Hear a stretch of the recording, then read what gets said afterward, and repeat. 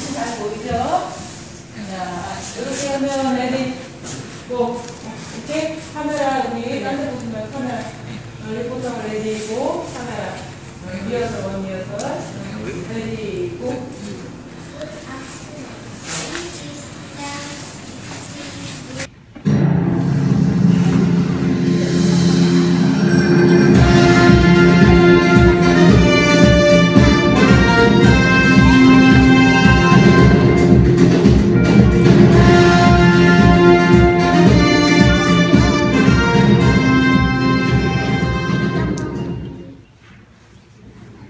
Good afternoon. This is MBC News Desk. We bring you today news.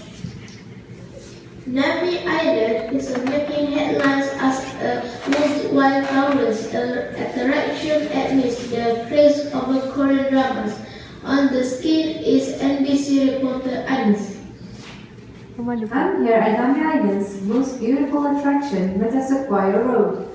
It's famous for having a great many visitors from around the world. Nami Island is receiving worldwide attention for its harmonious combination of imagination, art and nature. It is expected to continue to upgrade Korea's image portrayed in Korean dramas to a higher level. Anis, Nambishi News, Nami Island.